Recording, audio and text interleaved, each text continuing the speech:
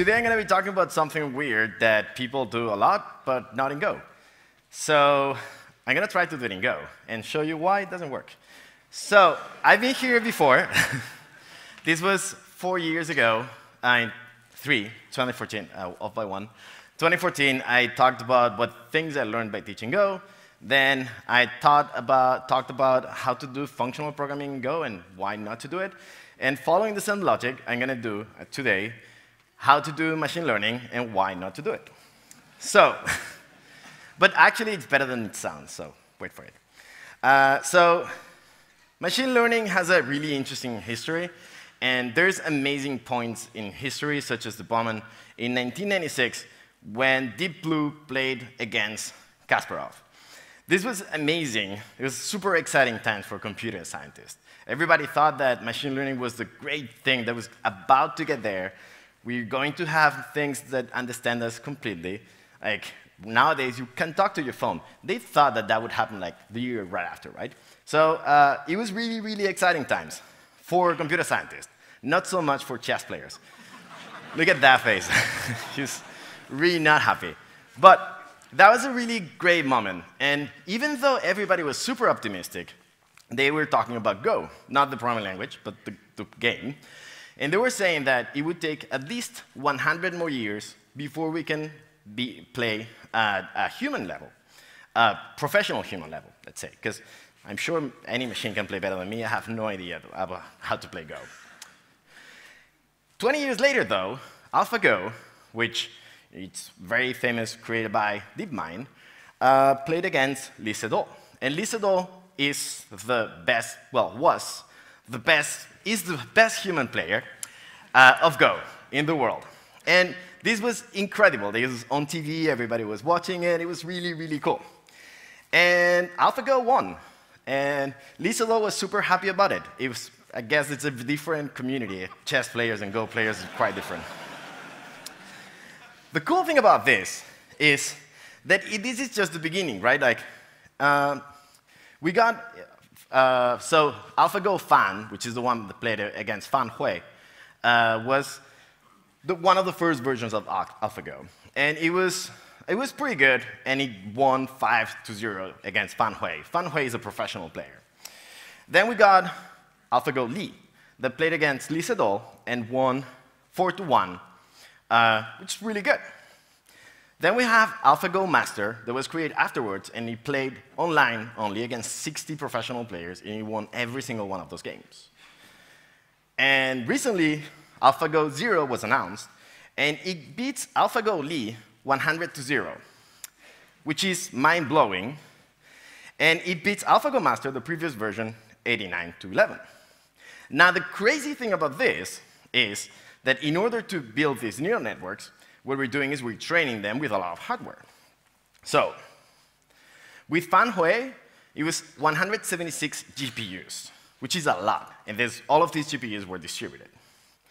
Then we moved to, from GPUs to TPUs. GPU is graphics processing unit. TPU is tensor processing unit. It's specifically designed for TensorFlow. So only 48, still distributed. Master and Zero only use four TPUs in one single machine. And this is the part that is amazing, right? Like we're moving forward. It's not really the hardware. It's, we're creating new techniques that are amazing able to do crazy things that we thought were not possible. So in 40 days, without playing against any player, any human player, AlphaGo Zero is able to reach levels that no one else had ever reached before. So machine learning is a thing, and it's cool. Machine learning, what is it by itself? Like, what is the concept of machine learning? Because there's a lot of concepts of machine learning and uh, artificial intelligence. It's good to have a good definition. The definition by Tom Mitchell is, a computer program is set to learn from experience E with respect to some task T and some performance measure P if the performance on T's as measured by P improves with experience E. Three pieces important are here. Experience E and task T. We do something specific, right? Like playing Go and we, uh, we learn over time, the experience. We need to play over and over, like 40 days, for instance, to learn the thing. Now, there's also a really important part, which is performance measure. we need to be able to tell how well or bad we're doing in order to improve. And this is something that is valid for machine learning, but basically for anything you're doing in life. You don't know how well you're doing, you cannot know if you're improving or not.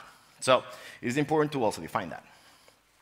So let's go with a simple, I could have done AlphaGo on, in Go, which is amazing, it's super cool, but that's too hard. So instead, we're going to do MNIST. MNIST is this data set that is super famous. It's basically every single person that has done something with machine learning has done this. It's like the hello world of machine learning. So what we're going to do is we're going to learn how to, uh, how to tell what character is every single one of those images. The task will be recognizing the characters. The performance measure is how many of them are correctly labeled, because we're getting also labels. And the experience is we're going to do a prediction, see how good it is, and then try to improve it. And we're going to go over and over on this. So what's the input? The input is an image and its label. The image is 28 by 28 pixels, and uh, it's not only one image, but many of them. There's actually 60,000 images in the data set. So we're going to do is we're going to be using logistic regression. And I'm going to go really fast over this, and there's a Coursera course that is amazing on this, machine learning. Check it out, really good. You'll have the time to learn this. But basically, the important part is we're going to be predicting with this. We have the input, which is the, the images. We have some weights and some biases that we can play with that what allows us to try to learn. Learning in this concept is modifying those matrices.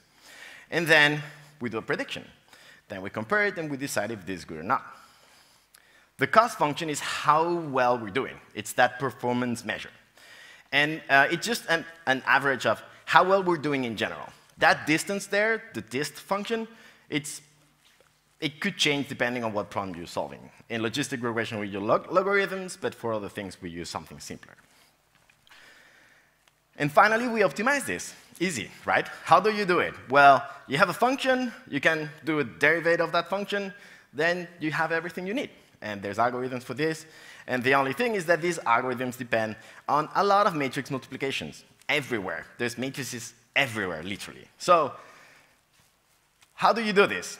Well, it's easy. You install TensorFlow, or Keras, or Theano, which all of these are written in Python, or Apache Spark, or Deep Learning 4J, which are in Java, or uh, this one here is Octave, which is uh, open source version of MATLAB.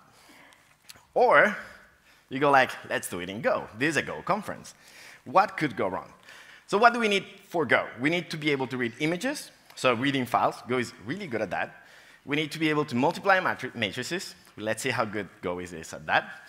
Uh, visualizing data sets. And finally, we need to be fast, because we have 60,000 images. We need to go really, really fast in order to achieve something that is useful. So, as I was saying, GoNum is the one that everybody knows, right? GoNum is really cool. It's super powerful. It allows you to do many, many things. It's like the equivalent of NumPy. If you ever use that in Python, you have GoNum in Go. I keep, I keep on calling NumGo because it's NumPy, but it's called GoNum. Uh, and it provides many, many different things. One of them is matrix multiplication and algebra in general. Also comes with statistics and probability, and it allows you to do uh, integration and derivation of functions and optimization and all of these things. And there's way more than that. Also comes with plotting, which is really powerful. It's like pyplot. If you've used that, the equivalent is GoNum plot in Go. Cool. So let's use it. Uh, I told you that there was this cost function. This is a cost function not for logistic regression, but for linear regression. Slightly different problem. But what does this look to write in GoNum, or in Go with GoNum, to write this? And it looks something like, so it's matrix multiplication minus some other vector. We do everything squared, we sum it, and divide it by something. It looks like something like this. And it's not bad, but there's many lines. There's every single operation is one single line. And there's a thing that I really don't like, which is that matrix X eh, H keeps on changing over time, right? Which makes sense because you want to reuse the memory. So what you're trying to do is mutate the matrix over time. But two years ago, I gave a talk about how mutability is not something that really, really helps you all the time. So I really wanted this to be immutable. So I was not very happy, so I decided to fix it. So I implemented the wheel, and I open sourced it. So uh, this is a package that I do not recommend anyone to use yet. Uh, rather than focusing on the performance of the package, I focused on having a nice API that is easy to use and hard to misuse.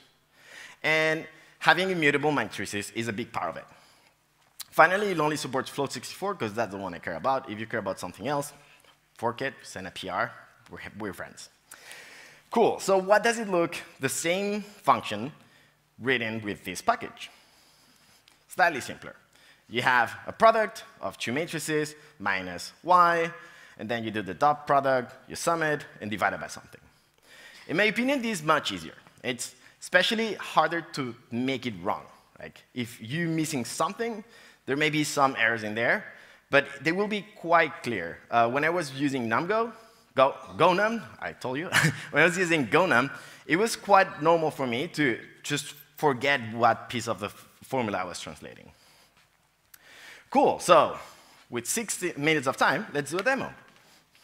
So, the first thing is, if you do uh, machine learning, the first thing you, want, you want to do is you want to plot all of the things, right?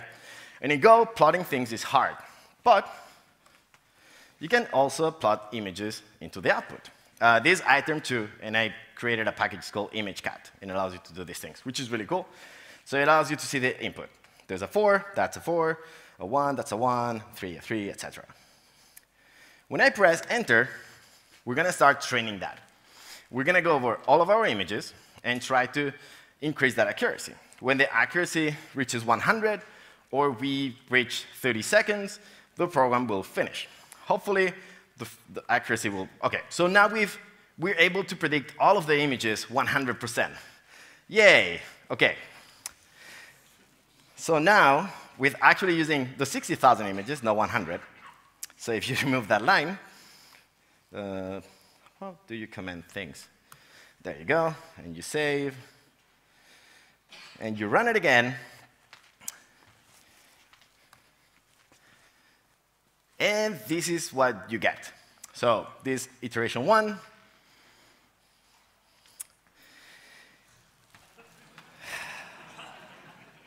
I'm gonna wait until iteration two and then stop it, okay? Because I think it's around 25 seconds. Okay, there you go. Oh, that was faster. That was actually really good. Okay, so yeah, um, not really good. Uh, it's kind of painful. And after 30 seconds, the timer will appear and we'll reach something really bad, something around 50%. And random is better than that. So, not amazing. Okay, so what's going on? Well, matrix multiplication, if you do it using only one Go routine over just one CPU, is not the best thing you can do. So what I did was I wrote, um, oh, where's this? Uh, uh, uh, fit. Okay, so this is the function that we're using. And when we're multiplying, we're using mat product. And this is said to be just a product, which is the linear product. I also created a parallel product.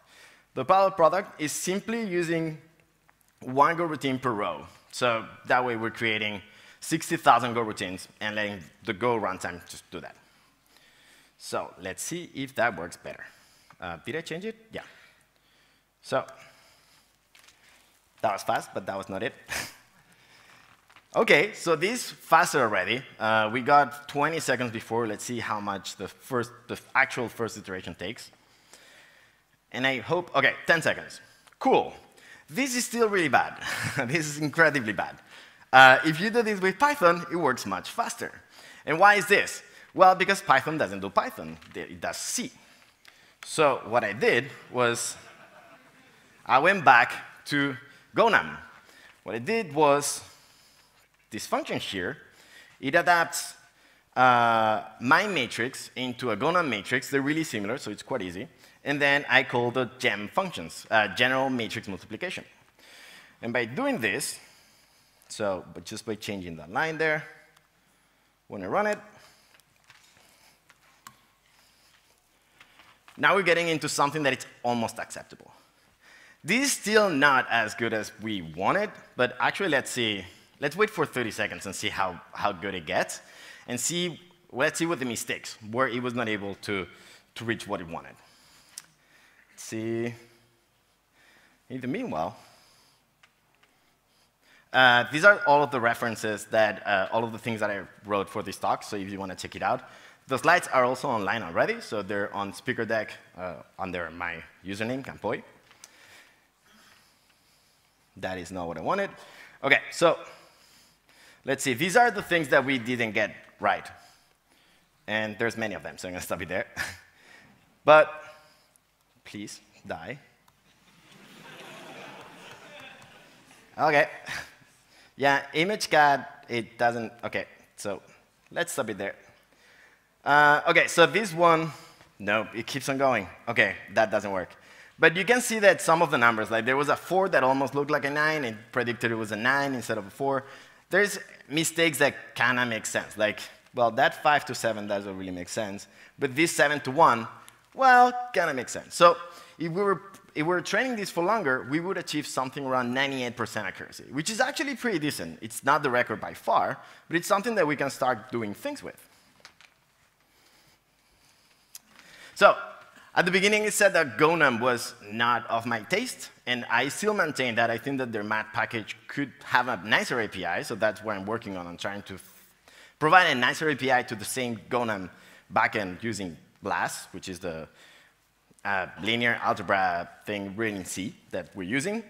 But there's more than that. Uh, I'm not using GPUs, and there's a lot of possibilities of using GPUs with OpenCL or CUDA. Uh, what about if we created a port of TensorFlow, and TensorFlow was available for, from Go? That's crazy. But what if you instead had a binding so you can write your programs in Go using TensorFlow? Is that even possible? Maybe. I don't know. And I hope you will help me. Thank you.